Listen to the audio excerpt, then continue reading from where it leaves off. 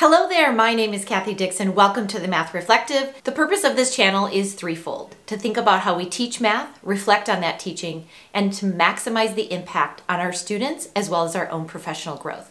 Today I'm going to share five elements of an effective math warm up. But before we begin, we need to think about what is the purpose of a math warm up. To me, there are two main purposes. One is to simply get students ready for that day's lesson. And the second is to give them an opportunity to work on their number sense or procedural fluency. Now let's jump into the five elements of an effective math warm up. Okay, for the first element of an effective math warm up, it should be an invitation to the mathematics for all learners. So you want that low floor, high ceiling kind of warm up activity so that every single student has an entry point. It should also provide a structured but adaptable format. Warm up activities such as notice and wonder, which one doesn't belong, true and false routines, and number talks are perfect examples of this. An effective warm up should also elevate student voice, not teacher voice. So throughout the warm up activity, you should be highlighting student voice. Students should be driving the learning, and the teacher voice should be more about questioning or choosing students to answer the question. An effective warm up also has a hook, something to invite students in to activate their schema, but it also has a hook that can be built on and connections can be made. So it has an effective synthesis at the end of it. Math warm up is no more than 10 minutes.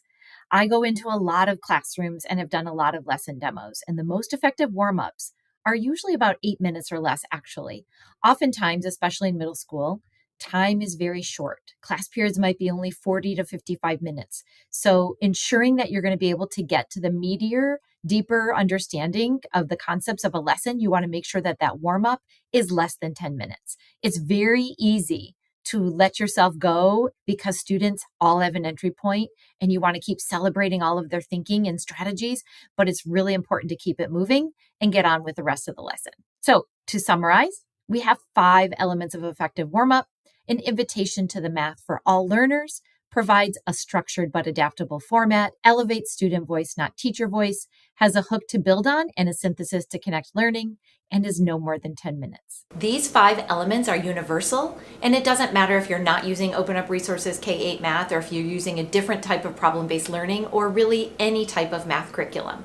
It is vital that as math teachers, we are ensuring that our students, every single student in our classroom, has the opportunity to access grade level math every day.